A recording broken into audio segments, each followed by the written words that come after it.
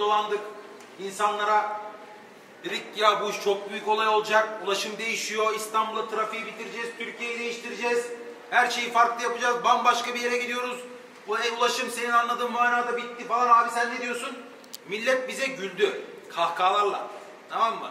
Şöyle kahkahalar atanlar oldu ya. Oğlum İstanbul'da onları çalarlar. İstanbul'da sen şey yapamazsın. İsmi lazım. Kışın ne yapacağım? Kışın ne yapacaksın? Bakarsınız. O aletleri yokuş çıkmaz. Tamam mı? Scooter ne ki? Abi diyorum bu olay scooter değil. Bak bunun bisikleti olacak, motosikleti olacak. Arabalar da bu hale gelecek falan filan. Millet hani masal anlatıyorum muamelesi yapıyordu bize yani. Abi şöyle.